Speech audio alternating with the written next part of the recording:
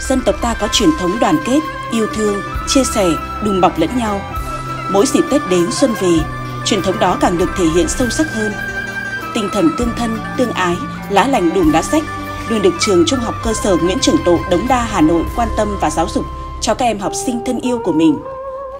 Với tấm lòng cùng chia sẻ để các học sinh vùng sâu vùng xa được đón Tết ấm áp, ngày 13 tháng 1 năm 2024, Công đoàn trường Trung học cơ sở Nguyễn Trường Tộ, đại diện cho tập thể giáo viên và học sinh nhà trường, cùng các đơn vị đồng hành Sở Du lịch tỉnh Nghệ An, các doanh nghiệp công ty Vic Spa Chain, Nụ Cười Mới, Mỹ Á Travel, Five Star Travel, Hòn Mát Farmstay, Trung tâm Tài năng Việt, Công ty Cổ phần Đầu tư và Phát triển Giáo dục, Công ty Phú Hưng Toàn cầu, Đình Anh Lucky Land, Thực phẩm Hà Nguyên, Công ty Megacon Việt Nam, cùng một số bạn học sinh trường Trung học phổ thông chuyên Hà Nội Amsterdam đã tổ chức hoạt động từ thiện Xuân yêu thương tại trường tiểu học Châu Hội 2 tại bản Việt Hương, xã Châu Hội, huyện Quỳ Châu, thuộc vùng miền núi của Tây Bắc Nghệ An.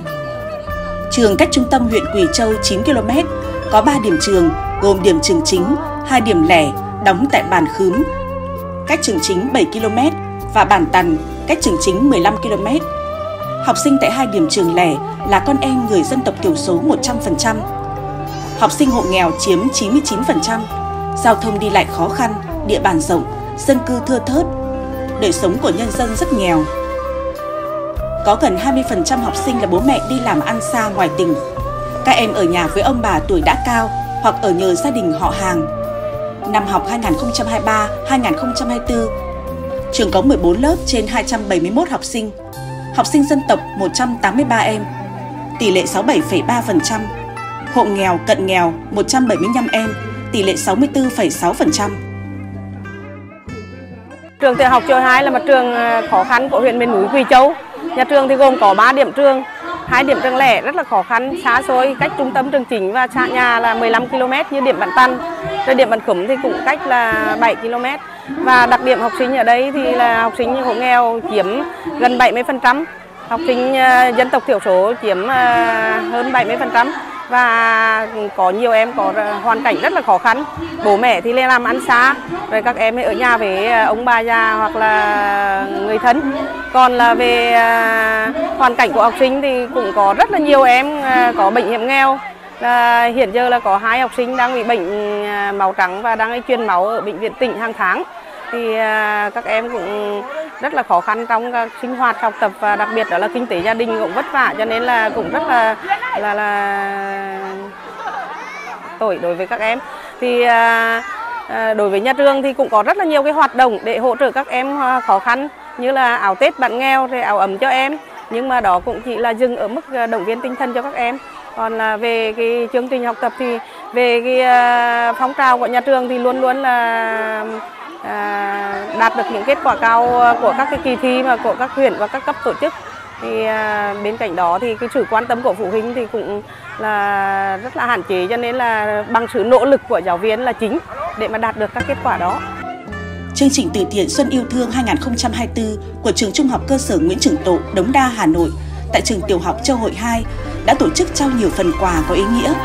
Phần nào giúp các em học sinh trường tiểu học Châu Hội 2 có một cái Tết thêm ấm áp những món quà trao tặng các em học sinh thể hiện sự quan tâm của xã hội với học sinh vùng cao. Qua đó, giúp các em vơi bớt khó khăn, thêm cố gắng, nỗ lực trong học tập. Tại đây, đoàn từ thiện cũng trao 142 xuất quà cho các hộ dân có hoàn cảnh khó khăn trong bản.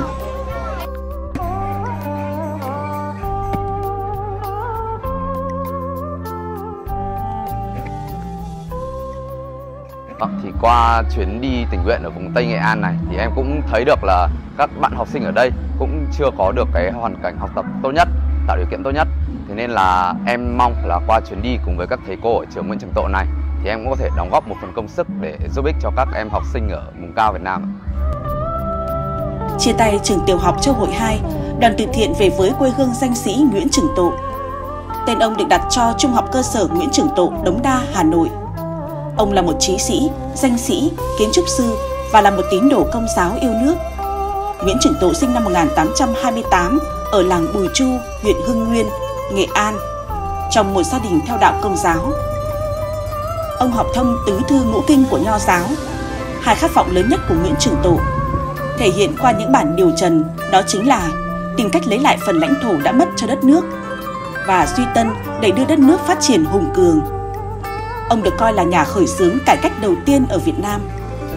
Gần hai thế kỷ đã trôi qua, nhưng những tư tưởng canh tân của Nguyễn Trường Tộ vẫn có giá trị đến ngày nay.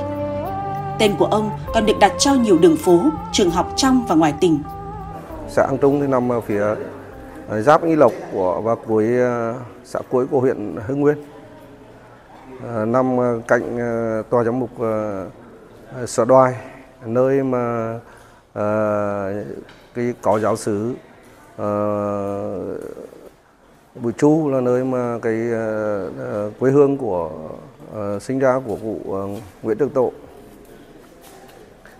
Thì hàng năm thì ở Hưng Nguyên thì đang thực hiện cái chương trình là Xuân yêu thương để chia sẻ đối với tất cả các gia đình mà khó khăn cũng như các em học sinh mà nghèo vượt khó ở trên địa bàn nhằm thực hiện cái chương trình không để người ờ, ờ, không để người nào không có Tết và không để ờ, các hộ gia đình hộ nghèo hộ cận nghèo và các đối tượng gia đình chính sách có một cái Tết ấm áp yêu thương để huyện đang thực hiện và nhân đợt này thì cũng được đoàn về thăm uh, nơi cụ Nguyễn Trường Tổ uh, sinh ra và nhà cảnh dân yêu nước đã đóng góp rất nhiều cho cái quê hương đất nước con người của Hưng Nguyên cũng như là của đất nước. Tại quê hương danh sĩ Nguyễn Trường Tộ, đoàn thiện nguyện cũng đã tổ chức trao 10 suất học bổng cho học sinh nghèo vượt khó. Xuất quà cho 27 hộ dân nghèo tại đây và tặng quỹ khuyến học của xã Hưng Trung. Xóm 1 Bùi Chu, xã Hưng Trung là xóm 6 tòng 345 hộ, 1.400 nhân khẩu. Kế thừa và phát huy tinh thần hiếu học của nhà canh tân yêu nước Nguyễn Trường Tộ, các thế hệ con em làng Bùi Chu, xã Hưng Trung luôn chăm chỉ học hành. Về Hưng Trung hôm nay, những con đường đã được đổ bê tông rộng rãi, phẳng lì, thẳng tắp. Dọc hai bên đường, cây cối được chặt tỉa gọn gàng, quét dọn vệ sinh sạch sẽ. Các trường học, nhà văn hóa, trụ sở xã, trạm y tế được xây dựng khang trang.